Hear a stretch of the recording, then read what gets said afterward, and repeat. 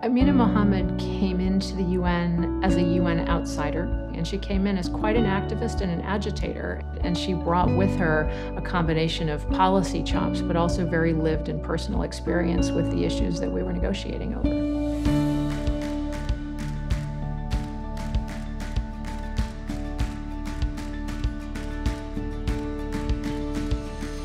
Amina has been really the outstanding inspiration for us all. Uh, she has guided and encouraged and prodded this process along.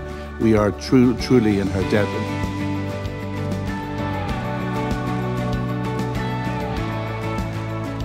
The only purpose of power is to serve with the courage of one's conviction that all people in the world have the rights that must be respected.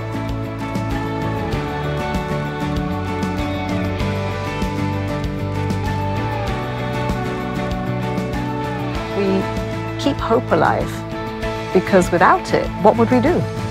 Hope is our commodity here.